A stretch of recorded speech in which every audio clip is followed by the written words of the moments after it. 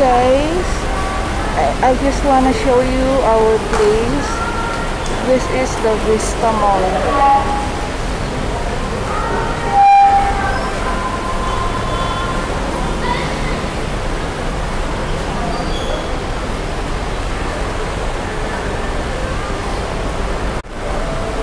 Hi guys, how are you today?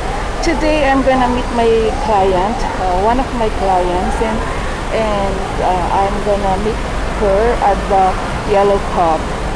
Uh, please pray with me. I hope uh, this day would be great. Okay, I'm going to Yellow Cab. My client is waiting for me there. I hope this will be a great day for me because I was really affected by this pandemic. I hope I'm not yet late.